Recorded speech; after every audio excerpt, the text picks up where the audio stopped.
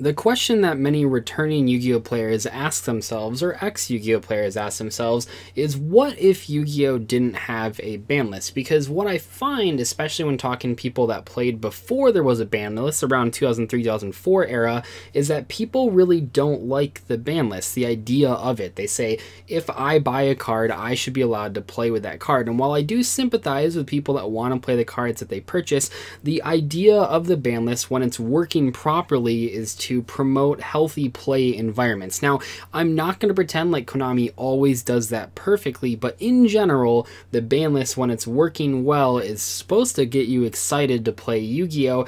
And I think overall, if we're looking at all of Yu-Gi-Oh's history, I would say that in general, Konami does a pretty okay job at doing that. Sometimes they hit weird cards, and sometimes they don't hit cards that probably should be hit, like Firewall Dragon, but in general, over all of Yu-Gi-Oh! Over the 20 years that it's been around, I would say that ban lists have promoted healthy play environments, or at the very least, have changed the game in an interesting and unique way from the previous format. If you stumbled upon this video and you haven't played Yu-Gi-Oh for a while and you're wondering, or maybe you played back when you were a kid and you're asking yourself, well, why does Yu-Gi-Oh even need a ban list in the first place? Well, I have good news for you. I actually made an entire video covering that exact question. I'm not going to cover many of the same things that I talked about in that video in this video because I don't want to just retrace my steps, but the basic gist is that because Yu-Gi-Oh, unlike card games like Magic and Pokemon, doesn't have set rotation, which means you can always use all the cards that that are available, except the ones that are on the Forbidden and Limited list,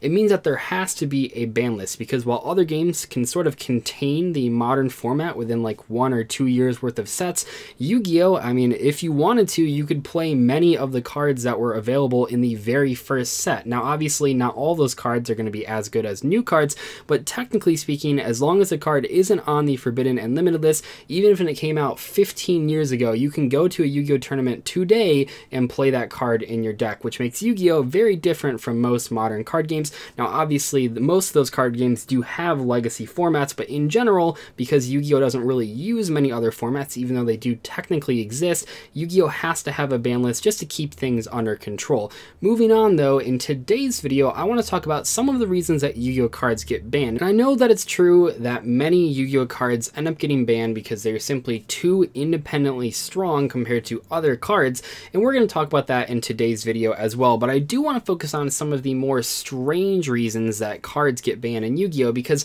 strength isn't all that matters when Konami is designing a ban list. So anyway, let's jump right in. So yes, there are cards that are independently too strong to actually exist in Yu-Gi-Oh! This doesn't happen as often nowadays, but especially if you're looking at many of the older cards on the ban list, cards like Delinquent Duo, cards like Pot of Greed, cards like Graceful Charity, all those types of cards, those really old cards with not a lot of text that just have like one really simplistic effect, and usually they're normal spell cards, those ones are too independently strong to actually exist in Yu-Gi-Oh! And in all of those cases, or at least most of the cases, if you look on the cards that are forbidden, many of those cards just are strict replacements or strict upgrades for current cards in the game. Why would you ever play a card like Allure of Darkness if you could play three Pot of Greed? No one in the right mind would, unless you were playing Allure of Darkness as your extra copies of Pot of Greed. So so Konami really does try to ban these independently powerful cards that there isn't really a replacement for so that not every single person is playing them. I think I quoted the article a couple videos ago now,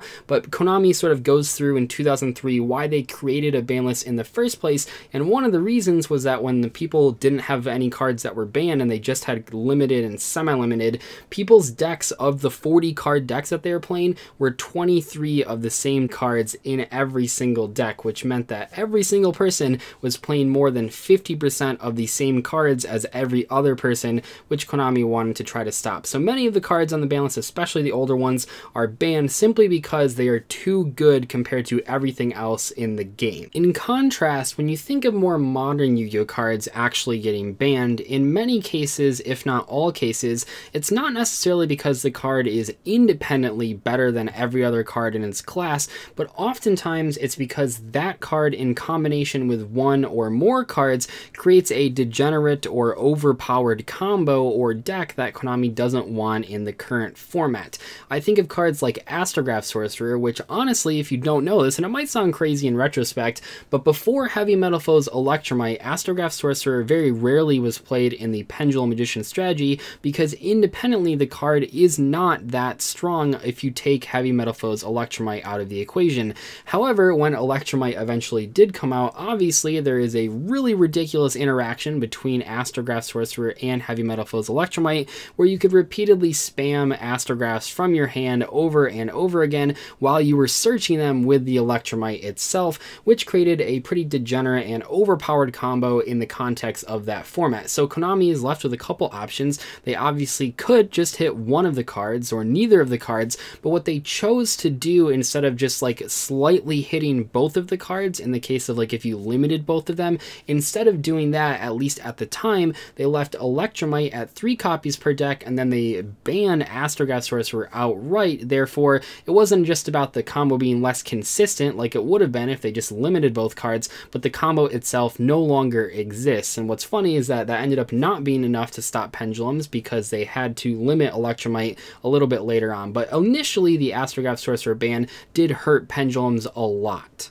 Another reason that Konami can ban cards and has banned cards in the past is that they promote negative tournament experiences or they're just too hard to rule. And I know some of you are going to think, well, what card actually really negatively impacts everyone's tournament experience? What card is too hard to make ruling calls on? And the one that I'm thinking of, well, is two. But first, we'll talk about Victory Dragon. Victory Dragon is banned, and a lot of people read this card and say, well, this card doesn't seem that strong. First off, I think many of those people don't understand that Victory Dragon Dragon says you win the match, not the game, because all Yu-Gi-Oh matches are played best two out of three. So with Victory Dragon, if you meet the condition and win the game, you actually just win the entire best two out of three match, which is ridiculously powerful. However, in the case of Victory Dragon, one of the reasons it is on the ban list is because the rulings surrounding it are so muddy. And I mean, when you summon Victory Dragon, your opponent, because this is just how Yu-Gi-Oh works, they can just scoop immediately before you attack at all,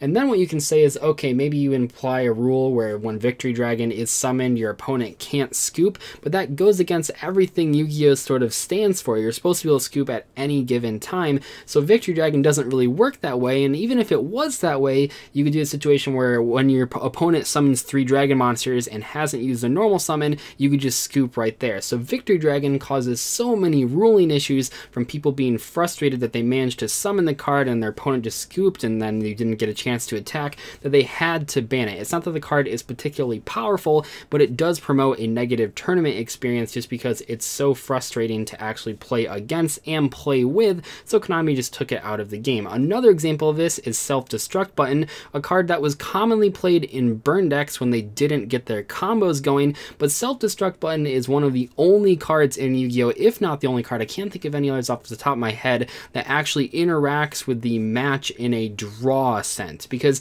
there are cards that cause you to instantly win and cards that cause you to instantly lose.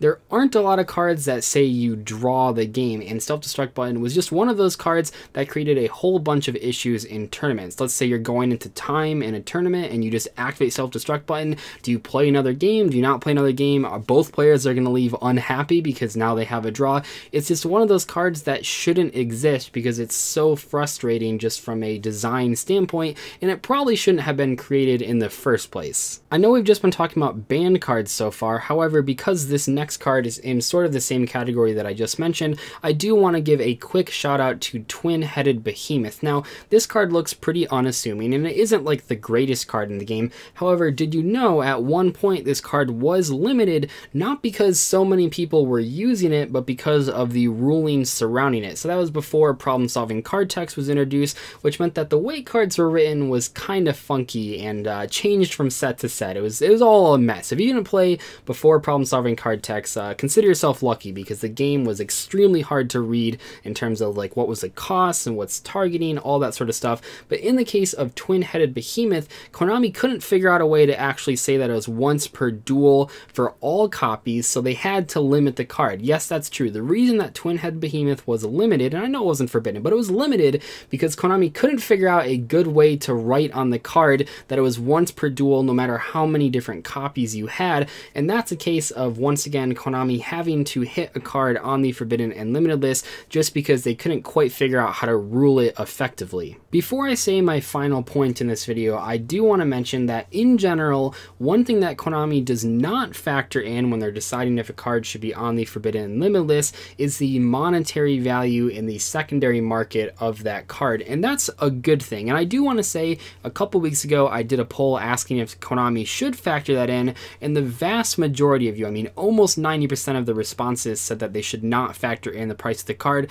And that's great. I'm glad you guys feel that way because when Konami starts factoring in things like secondary markets, it really makes the ban list a little bit trickier in terms of which cards get hit and which cards don't get hit. And we can look at Duel Links to actually know that this doesn't work if they factor in the price because a whole bunch of scenarios in Duel Links on their ban list, cards that weren't actually that powerful ended up getting hit because they were lower rarity than other cards. And obviously Duel Links doesn't have a secondary market, but in general, especially for the harder to get cards, Konami knows how much time or how much money or a combination of both that you spent to purchase or get those cards for your deck, especially if you have a playset. So cards like Mask Change and Masked HERO Anki, which are ultra rares, tend to not get hit on the ban list that Konami puts out. They're going to hit cards that you didn't have to spend as much money or as much time actually picking up. So I'm really glad as, as a Duel Links player and as a TCG player that Konami does not do that for the TCG because it would really mess up a lot of things. I mean, just imagine a world where every single main set secret rare could not get hit on the ban list no matter how good it was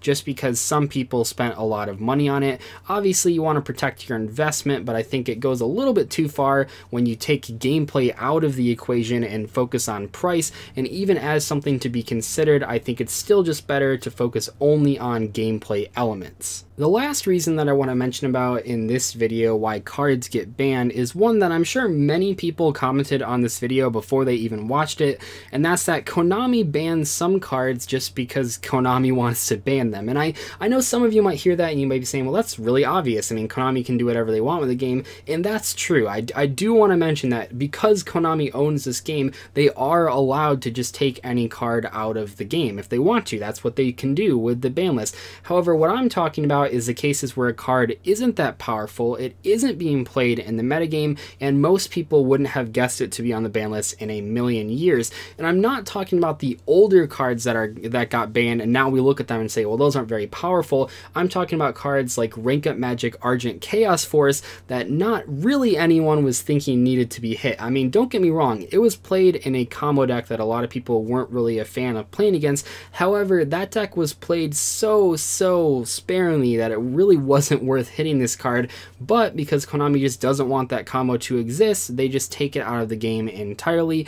And like I said, Konami has every right to do this. This is their game. Now the consumers can sort of retaliate and maybe stop buying product to sort of say, hey, I don't appreciate that you took my rank up Magic Argent Chaos Force out of the game. But in general, Konami is allowed to do whatever they want. And I think overall, like 95 to 98% of the time, when a card gets banned or ends up on the Forbidden and Limited list, we can point to the format and point to the decks that are being played and say, okay, we know why this card was hit. Maybe we don't agree with it, but at least we can say, okay, we understand why Konami took this card out of the game, but sometimes that like 5 to 2% of the time, Konami just hits a random card for really no apparent reason, and everyone just kind of scratches their heads in confusion. Anyway though, hopefully you guys enjoyed today's video. I had a lot of fun making it. Like I said, if you don't, or if you haven't watched that video about why Konami needs to implement a ban list into Yu-Gi-Oh! I'll put a link at the end of this video that you guys can just click on just so you can kind of learn more about the ban list in general.